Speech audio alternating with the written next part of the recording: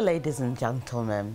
Welcome to Conversations with IFS with me, your host, Jemima Nunoo. Today, we have an exciting conversation with a gentleman who has over four decades of experience in corporate management. He's not a stranger to many of us. He has been um, both in the business world and also in the public sector in terms of management. He's a writer, presidential advisor. He's been and still is on numerous boards as a director. He is none other than Dr. Ishmael Yamson. Thank you Dr. Ishmael Yamson, you are most welcome. Thank you very much. And I'm so glad that you're here today Thank on you. Conversations with IFS. Firstly, I'd like to congratulate you on the launch of your book. Oh, I had the privilege of being a part of the launch Yeah. Of Africa in Search of Prosperity. Um, before we start our conversation, can you tell us a little bit about the book? well, um, and thank you very much for, for having me uh, on, on this program. Um, Africa in Search of Prosperity was inspired largely by several decades of Africa's attempt to move its people from poverty to prosperity. And try as Africa has, uh, today Africa is still in very dire straits. Uh, the main economies of Africa, South Africa, Angola, Nigeria, are all in great difficulty. And millions of Afri- Africans are still um, in, in deep, deep poverty. And I, I, I couldn't understand why, after so much support from the international committee, community, after so much effort by African governments, Africa doesn't seem to be making any progress at all. I went back to my library and discovered that things that were discussed, things that I discussed 40, 45 years ago, are things that are being discussed today. And so I thought that let me put all these thoughts together and see whether I can generate a discussion as to what we have been doing wrong, why we are not getting it right, and what we should be doing uh, going forward. Because you see, the world is moving very fast. Africa seems to be going backwards. The gap is widening. And African country upon African, African country has a huge problem with youth unemployment. So if Africa doesn't act now, and we have no time, I think that we are sowing the seeds of great danger going forward. And that's what inspired me to put those thoughts together. Okay. So you said if Africa doesn't act now, be in grave danger. How can we act? How should we act? We're, we're very good at, let's say, talking. Yes. But how do we move that talking and the rhetoric to action? Well, you are right. Africa and most African countries, the African leaders, suffer from diarrhea of words, diarrhea of ideas, but constipation of action. We talk, and we know how to talk. Africans, are, I mean Ghanaians especially, um, we can talk a lot. But when it comes to executing our plans, coming from plans into action and making sure that we, we do what we say we will do, we don't. And I think, first of all, Africa needs to understand that its own future is in its own hands. We should buy our own future. That is the way I want to put it. Africa must buy its own future. We cannot forever depend on aid and loans and grants and commodity prices to develop Africa. It isn't going to help. We need to take decisive action to change Africa. We should move Africa from commodity dependence into services, into value addition, into innovation, just like the Chinese have done. The Chinese have taken just about 20, 25 years to take 400 million people out of poverty. So it can be done. It can be done, but I believe that we need to have clarity on where we want to go. But let me also add one point. I think we have, been, we have not been lucky in Africa with our leadership. Leadership that is focused on efficiency, leadership that is visionary, leadership that is transparent, leadership with integrity. I call that kind of leadership authentic leadership. Leadership that is not there to look after itself. That's what we have. Yesterday somebody asked me, is democracy and corruption synonymous with each other? And I said no. We have had one party government in Ghana before. We've had one party state in Angola, one party state in many countries in Africa. They haven't made any difference. We can't blame democracy for it. We can blame our leaders and our institutions. And we should get our institutions right. We didn't need Obama to come here and tell us that build strong institutions. We have known this all along. That's why we created all these institutions.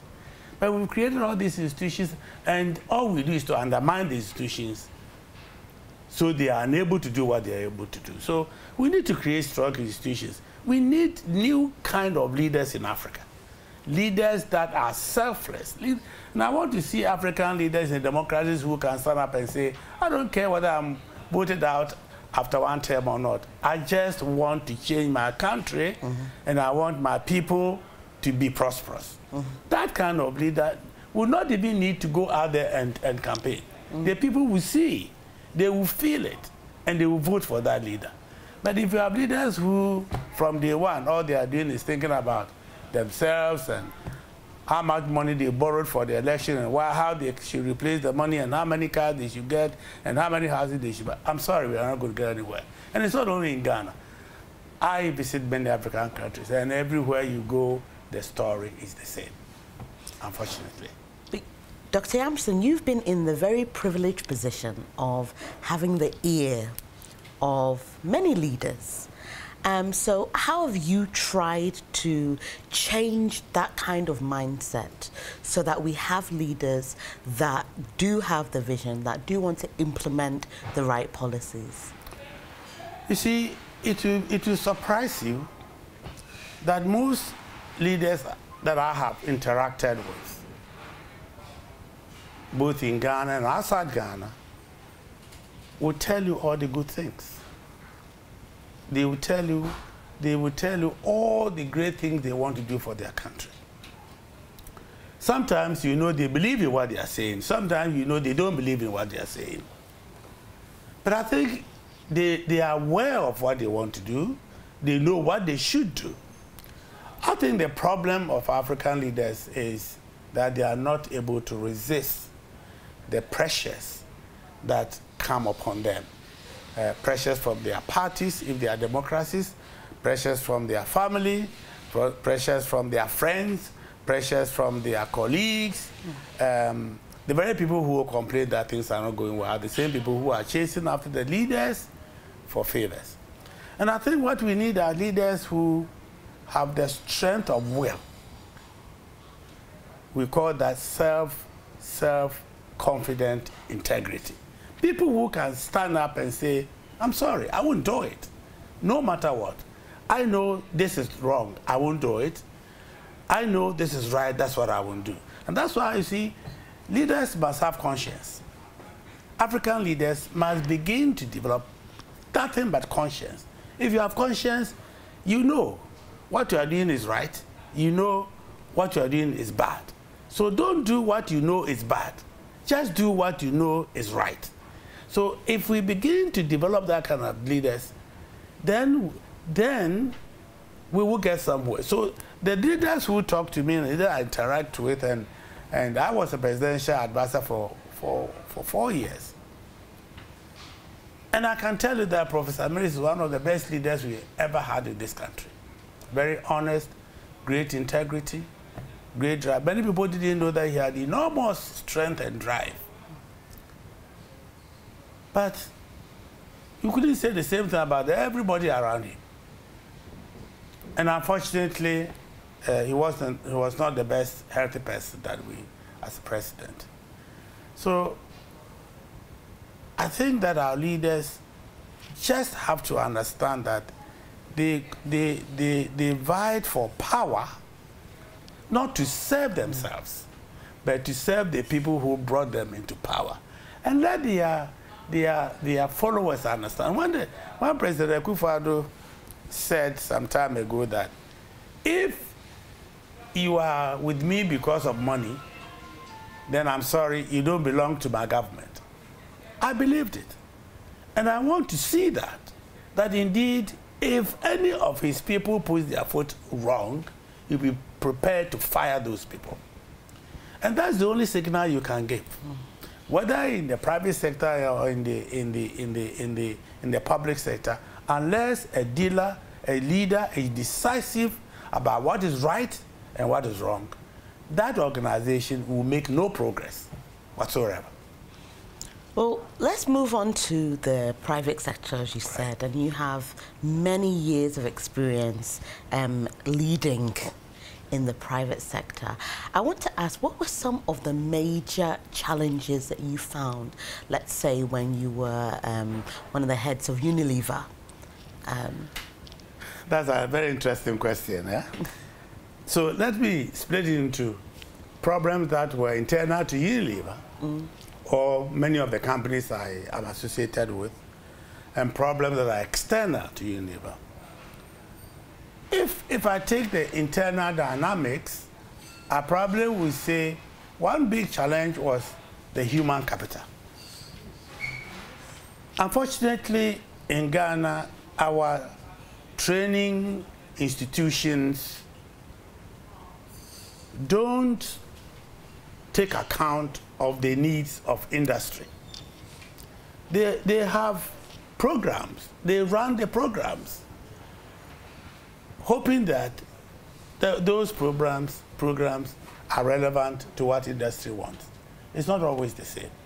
So you have, you, you sit at interviews, you will, you will interview very brilliant uh, young girls and, and boys who have, who have been very well educated. But, but who will need three, four, five years more of training before they become uh, really productive for you? So you couldn't go to the market unless you, you then decided to say, look, I will, I will bring people from outside all the time, which is not the best thing to do. You need to grow people. So that was one major problem that we faced. The second major problem was the fact that the, and that, is, that has something to do also with the bureaucracy, but there are things that you need to do in, in, in your company with the support of the public sector. But because the public sector, and I'm not, I'm, I do not want to say they are hostile, but the public sector is simply sometimes inefficient, uninterested, ineffective, they make life in the public sector extremely difficult, and the private sector extremely difficult, because you, you, you need a permit, or you want to clear goods from the port, or, or you want uh, uh some uh, clarity on some uh, legislation, or you get a letter from GRA, we've done your tax assessment, this is how much you should pay. Of course, that's fine. But you look at the, all the laws and you say, but unfortunately, it's not relevant. Now, it's going to take a lot of time to convince. So, time that you should use to sit, to think and plan and build your business, mm. you are using it sorting problems out with the bureaucracy. So the bureaucracy is a major obstacle to business growth in Ghana. Now, the, the, the other thing I probably would say in the public in the private sector is that we have a small market in Ghana. And therefore, if you want, and, and most public, uh, private sector companies uh, therefore make do with old technology, uh, things that, uh, technology that probably have, have come and, and they have, they, they, they, they've now been scrapped in Europe or whatever is why you go. Because if you go and, and buy a modern technology with high speed, you have a very small market. You need, say, the ECOWAS market to, to, to, to, to, to build um, uh, volumes that will allow you to grow faster, create more jobs, employ more people. But that is because, and therefore you, you have many private sector companies using old, antiquated, inefficient, very heavy on energy plant and equipment. Hmm. Now, and they are very heavily taxed. So they can't even save money to re-equip with modern technology. So these are some of the, the, the, the issues that actually uh, uh, private sector people face internally. But if I should then say, what are the issues you face outside?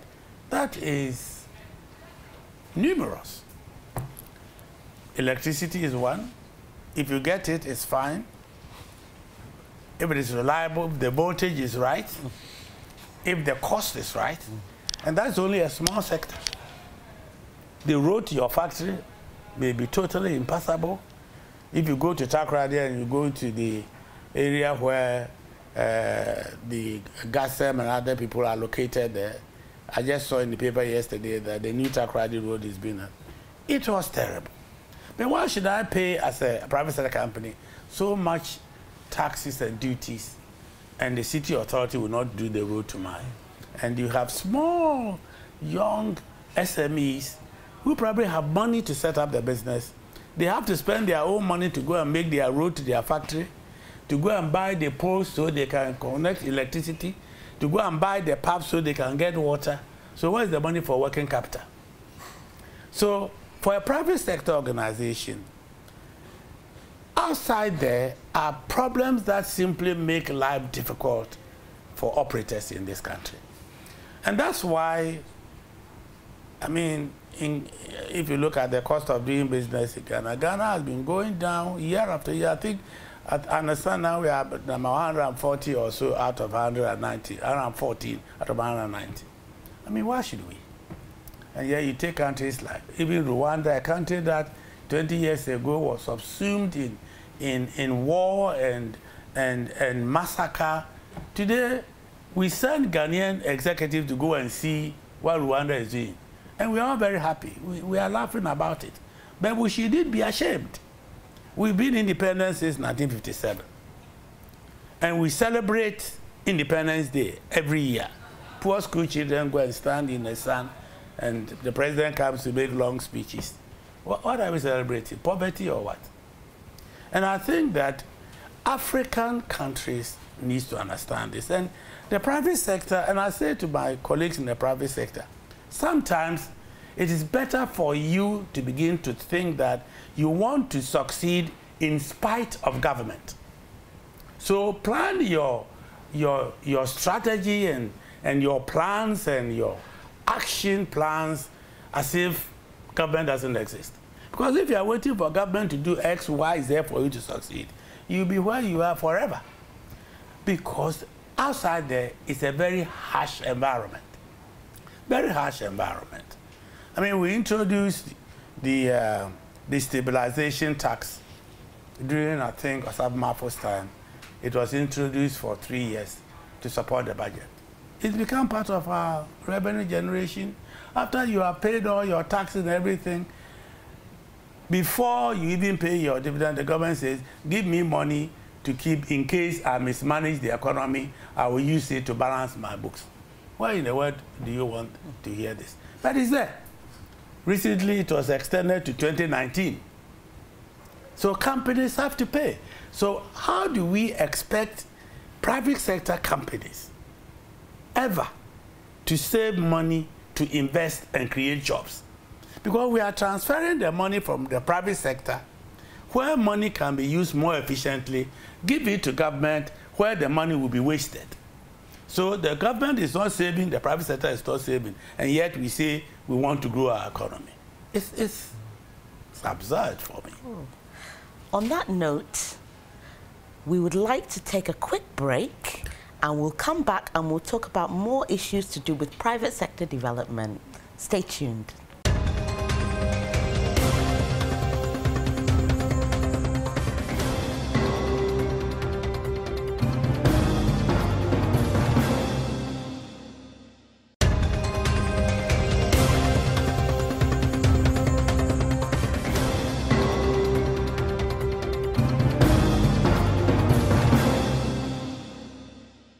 Welcome back, viewers. And today on Conversations with IFS, we have Dr. Ishmael Yamson talking to us about the role of business and fiscal management. Dr. Yamson, welcome back again. Thank Let's continue. Thank you very much. So, you were talking about um, public institutions yes. and how they should try and help businesses smooth the process for businesses. You've had the privilege again of being the board chairman mm. of a public institution. I'm talking about GIPC, yeah. Ghana Investment Promotion uh, Council, yeah. um, a public institution designed to help attract foreign yeah. direct investment into Ghana.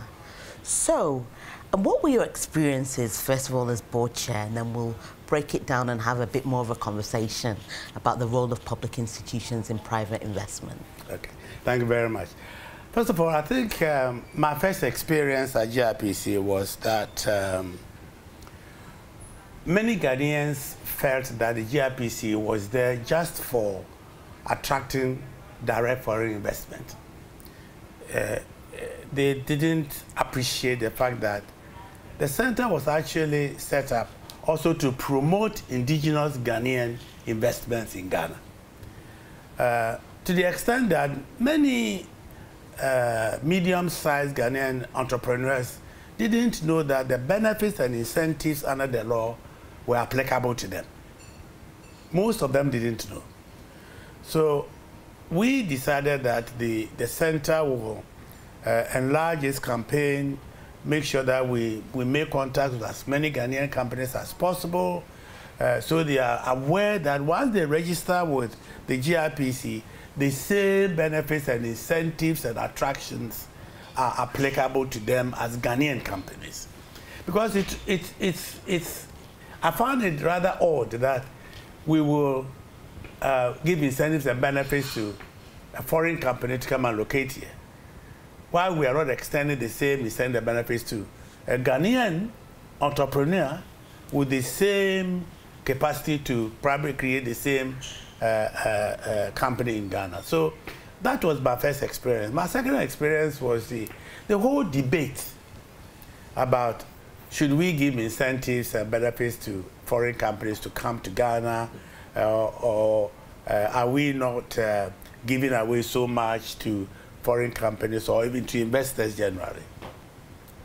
Now, it's interesting because I, I, I, used, I used to say to people, um, Britain gives incentives to, to uh, companies to come and invest in Britain. America attracts investment. All the countries in Asia are competitors in attracting investments. There's a whole lot of capital sitting out there looking for places to invest. So why would we not first find out what do, we, what do these people need to come and invest in Ghana? And why and how can we make those things available to them to come and invest in Ghana. So we, we, our CEO uh, and, and, a team of, uh, of the directors uh, did a number of uh, tours in Asia, in Singapore, uh, in Europe. Um, and I thought that it, it, it, and, and the team at that time, I must say, was very aggressive. Quite a number of companies actually ended up entering the Ghanaian market. And then for the first time, we also had Ghanaian companies coming to the center and registering with the center and enjoying the same facilities as foreign companies enjoy. But let me say that I think as a country, we don't have clarity about what exactly do we need and where do we need investors from outside. How do we want to attract those investors? And how do we want them to remain in Ghana? Every now and then you hear, and even only recently, I think two, three days ago, I saw in one of the publications uh, a huge complaint about all the incentives and benefits that were given to GE to come to Ghana to do deep water exploration of oil. Now, deep water exploration is not a joke. Not many oil companies in the world have got the technology to do it. To get GE, first to think about coming to Ghana. Because when we talk about the big boys, we are talking about GE and the others. To come to Ghana, invest, you will need to bend backwards. Because I remember uh, during the period when Margaret Thatcher was destroying the coal industry in Ghana and the, in the Midlands, there were several you know, you know, areas where the coal mining companies collapsed. Yeah, Margaret Thatcher paid 80 million pounds to a Japanese company, car manufacturing company, to come and build a factory so that the people there who are lost jobs in the coal mining company can have, find jobs in it. So we have to just be strategic about what we want to do. Where do we want to attract foreign direct investments? What are we prepared to give them? And, and then do a cost benefit analysis and say, look, if we give away so much, let's say 10 years tax holiday, it will cost Ghana so much. If that company succeed, in 10 years, what will we get back? And then try and negotiate and say, okay, uh, what's the payback period? Because I have a private sector, but when I put my money in the company, I want the payback period. So it's not different. When we give incentives and benefits, we are investing in that company. So what's our payback period? What, how long is it going to take that company to start paying taxes, to start paying duties, to start pay, employing many more people, to start giving us more foreign exchange, and then compare and see, okay, if we give you so much, it will take us 50 years to get our money back. No, we don't want. We want 10 years. We want our money back in 10 years. And that is the, be the benchmark for negotiating. We should not sit outside and, and complain. Because when we do that, the world of investment is a small world. Everybody says, Ghana, if you go there, they'll give you the incentives. Two years later, someone is coming to come and withdraw the incentives from you. Don't go there. We need to understand. And we need to buy into it as a, as a nation. It is not something for Ishmael Yamson, for GRPC, for NPP, or NDC, or PPP, or how many parties do we have? Many of them. We won't. Yesterday, I listened to uh, Ramaphosa speaking in South Africa. Mm -hmm. I thought he was talking about Ghana. Every issue he raised is relevant to Ghana. Unemployment of the youth, people without housing, corruption in SOEs. I sat down there and I said, my God, God, please bless Africa with new leaders because all these problems are everywhere. You see, SOEs are very key. We have many of them, and they are in strategic sectors. They give us power. They give us water. Eh? Uh, most of the universities are public sector universities. Uh, they build the roads. They build the ports. They manage it. So the private sector is actually hemmed with all these inefficient private sector, uh, public sector around the mm. private sector. So what I'm saying is that for everybody who is put in charge of a public institution, you must first know that you are there to serve the interest of Ghana. It can be Ghana Water, uh, Forestry Commission, Cocoa Marketing Board, whatever, whatever. You are not there for yourself. You are there for Ghana. And we must all have a singular vision which says we want to create a country, as Kwame Nkrumah said, where every Ghanaian will not wake up or no Ghanaian wake up in the morning and think about what he will eat, where he will sleep, what the work he will do. When are we going to get there? When all these state, state organizations and institutions don't think about that. If you go to our courts, I don't have to tell you, about uh, the, all the things that our friend journalists did with the judges and everything, right? You have a case as a private sector operate, uh, company in six years, seven years, the case is still pending. So they, we need to get private sector institutions right. And I, I must say that I didn't have problem when I was in GIPC with interference from politicians because maybe the judge wouldn't want to come and talk to me because they know who I am. but if you are made a chairman or a CEO or a director of a state institutions, don't give, start giving excuses that political, because of political interference, I can't do this, I can't do that. Then don't accept the job. Don't accept it. Don't accept it and start giving excuses. Because that is unacceptable. Look at all the corruption cases that are up. They are all from SOEs. They are all in debt. They are all badly managed. Now, if these are very key to our progress, and they are badly managed, and they are in debt, and they are corrupt, when are we going to make progress in Ghana? We have to clean that up. So when, when Cyril Ramaphosa said that one of his key, key actions to clean up the SOEs, he had a standing ovation. We haven't got a situation to stand up and clap that we have a leader who's going to clean up the SOEs. But we need to get it right. But, Dr. Yamson, how do we clean up the SOEs? How do we make sure that these SOEs are as efficient as their wholly private sector counterparts? You see, for instance, look, when I was chairman of Unilever, my boss was sitting in London. But my boss was not interfering with what I'm doing in Ghana.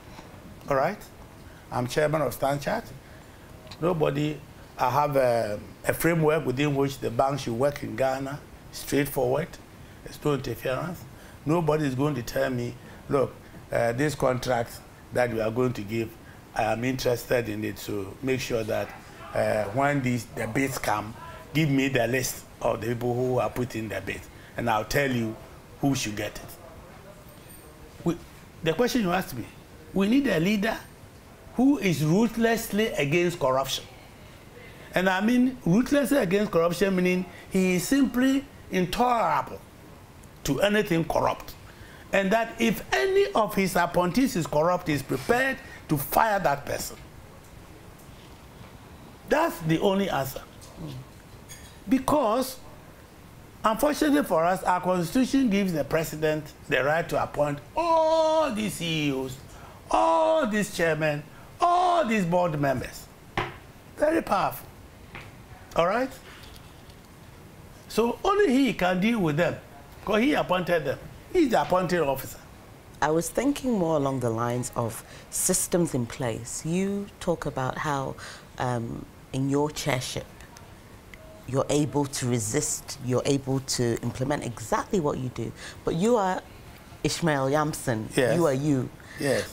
But what systems or processes can we put in place so even if it's not an Ishmael Yamson I agree. that is a leader, that's still at least let me tell you one thing. One of the biggest areas of corruption is procurement. All right, in Ghana. We have a procurement law, an act passed by parliament, which clearly defines how everybody should behave when it comes to procurement in the public sector. So why do we still have problems with procurement in the public sector? Everybody puts the law aside and do what they like. That is an act. It's not even a simple process and system that is in the company. This is an act with penalties under the law. Financial Services Act, eh? Mm. by the Auditor General. Every board member is supposed to have a copy. Every CEO has a copy. Every executive in any company must have a copy. It's a law. It tells you what you can do, what you cannot do. So we have the processes and we have the systems. We have the framework. People just abuse those systems and processes and the acts that we ourselves as a people have put together to guide our behavior. But nothing happens to them. That's actually is the question. Why is it that when people abuse our laws, nothing happens to them? If I have been there and I've stolen money and I don't go to jail and you come, why wouldn't you also steal money? Because after all, what is going to happen to you? Nothing. Nothing was going to happen to you. But if people know that, why do, why do ministers in the British Parliament resign for simple infractions? They resign for their reputation. All right? Mm -hmm. How many ministers in Ghana have you seen get up and say, I disagree with my party and I am out of this place? Has it ever happened in Ghana? I don't know. Maybe I'm too old to remember somebody did that. But we have to get to a stage where our people who have integrity to stand up and say, this is wrong. It doesn't matter from what quarters it's coming from.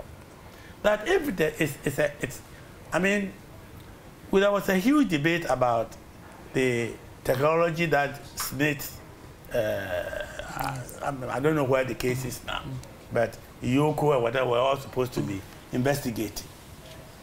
Very simple. I'm sure they have the processes in Smith. I'm sure they have the systems there. I'm sure the Public Procurement Act applies to Smith. So my question is, why don't we then say, yes, okay, we are all humans. We are fallible. But if so, therefore somebody will, willfully commits that crime, this is the penalty. But when people start protecting their, their, their colleagues simply because they, have, they are in the same party or they, are, they were uh, in school together or they belong to the same the one society after another, that is where our society will break down. Because those who are to protect us are those who are raping our country of its resources. And I can tell you that if you go to all these institutions, you'll be amazed. They have all the processes and the systems there. People just find ways and means of abusing those systems and processes simply because they know they can get away with crime. And that is the bottom line. And we should get to a stage where we, all of us, should say, enough is enough. This can't go on forever. And that's why I'm happy that at long last, we have the special prosecutor. I'm not talking about the individual, mm. but the institution. The office of. But I hope it doesn't go the same way as all the others, because we have institutions already that were supposed to deal with the same criminal acts. They haven't been effective. So why do we think that this one will be effective? Yes, the individual is good. I know him personally. He is good. But he, he needs, he will need the resources and the infrastructure to make his work well. He's going to work with investigators, right? Mm -hmm. yes. who, who says the investigators are like him or will be like him? And I, I I'm very passionate about this country. I, I can tell. I, I want Ghana, I want to be proud to step outside of this country. And people should respect me because I'm a Ghanaian. I don't want people to say, oh, but we heard in your country. It, it makes me sick. See? Yeah. And, and, and I think that, look, we have the intelligentsia, we have well-educated people. I mean, you meet them outside of this country, and you are proud to be a Ghanaian. And yet, here at home, look at the mess. On that note, I think we'll it's time for us to go for a break. And when we come back, we'll discuss more about fiscal management and Ghana Beyond Aid. Stay tuned.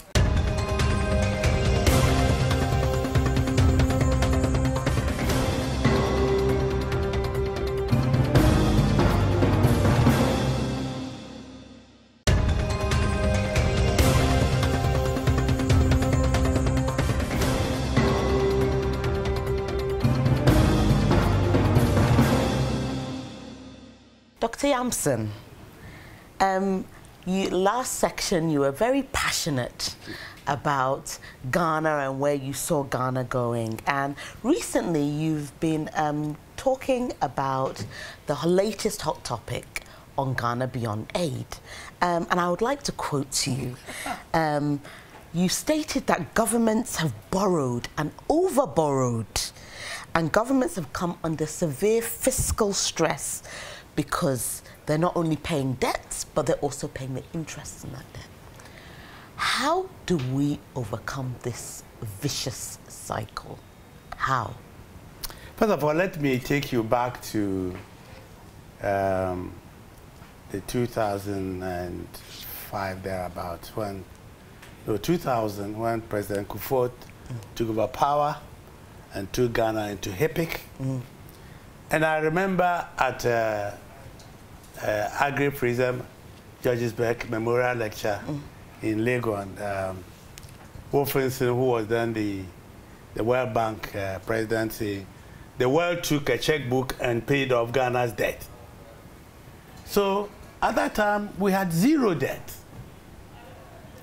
So why is it that when all our debt were forgiven,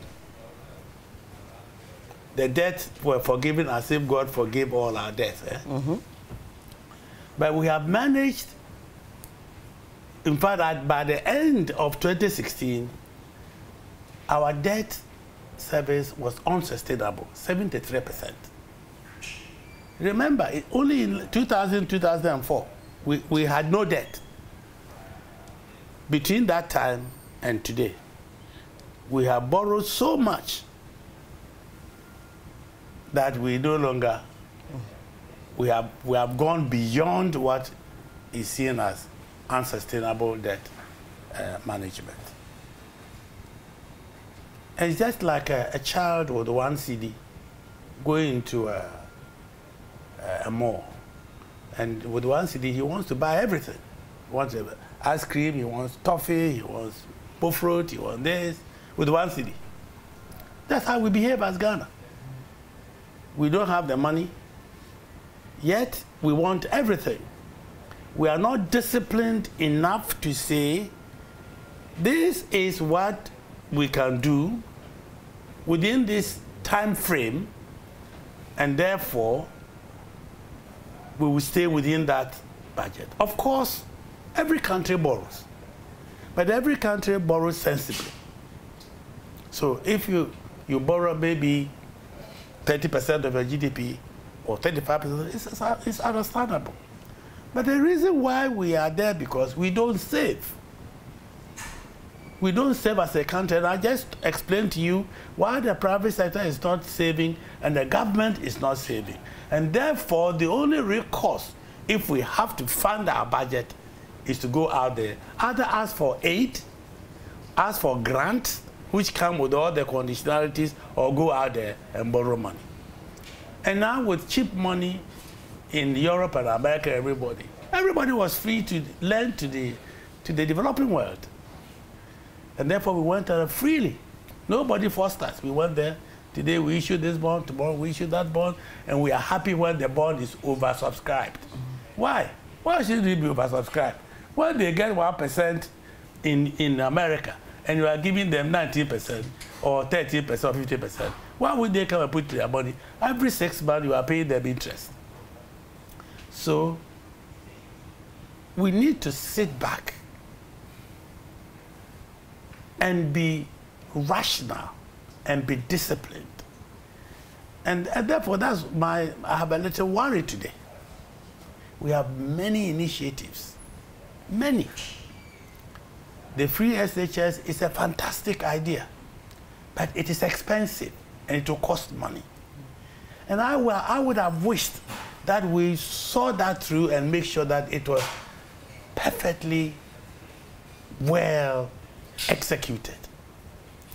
But on the back of it, we had one district, one this, one this, one recently I had one district, one warehouse, everybody, and many, many, many other initiatives.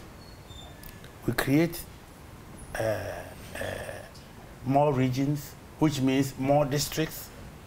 Already, public sector wage bill is a huge burden on government. Huge. So the first thing that we should do, and I say this all the time, let us focus the agenda. How many things can we practically do in the next four years, in the next eight years, in the next 10 years? Ghanaians are very reasonable people, and all you need to do is to demonstrate that those few things that you have focused on, you do them and you do them well. You cannot construct all the roads in Ghana in one year, not even in two years, not even in three years, not even in four years. But you can start from somewhere and let the people know that yes, we can see progress. They will be prepared to wait. But then go and tell them in a campaign, all the parties were promising to do everything, solve all of Ghana's problems, all in four years. So you come to power, and because it was a, a campaign promise, you must execute. I said, no. Go and talk to Tony Blair. Tony Blair will tell you what I said on the campaign floor is different from what I'm supposed to do because now I know how much money I have in my pocket. And maybe one week, two weeks, people will talk about it, but that's the reality. So if people go, to, everybody goes to senior high school, and the teachers are there, the infrastructure is there, the books are there, the ICT, ICT facilities are there, and we are churning out uh, SHS students, the type that we really want to see, who will not give you credit for it. But if you are diverting the little money you have on everything, what do you end up now to say, okay, I did the budget, this is the gap, I have to go and borrow money to come and fill the gap. And not only to fill the gap, but also pay the interest on the existing loan. And yesterday I, I said that, no, the Minister of Finance is doing fantastic work in reprofiling the debt, borrowing long term to pay off the short end debt.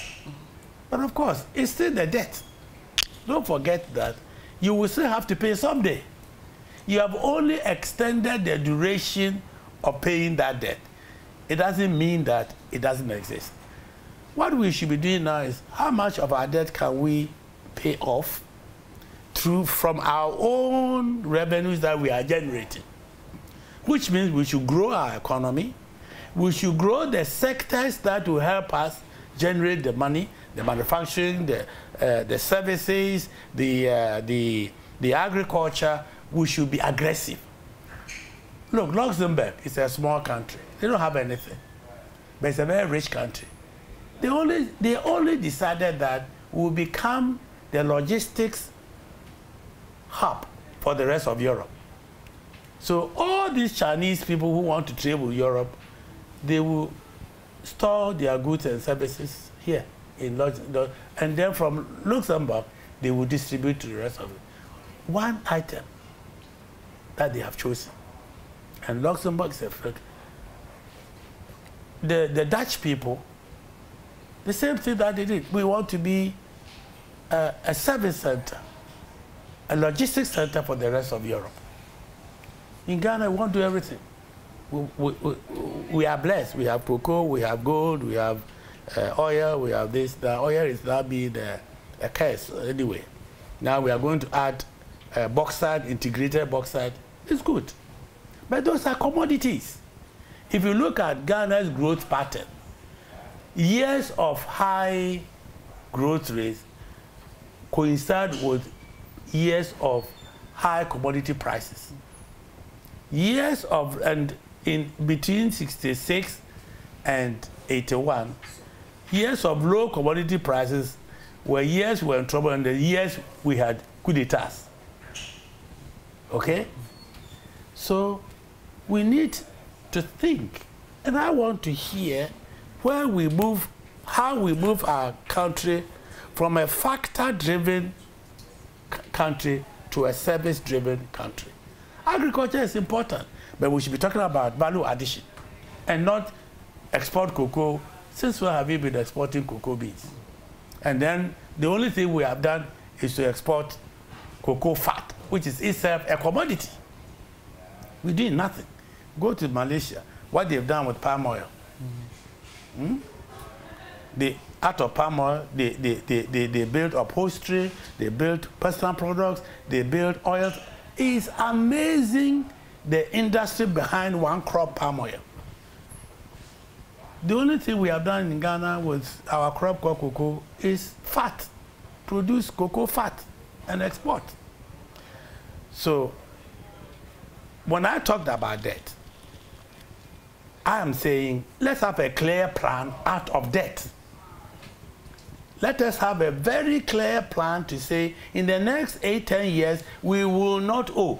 If we will owe, we will owe at the lower end 30% of GDP, that's fine, but not 68%. And congratulate ourselves. And look at the, the, the debt, the interest payment alone on the debt.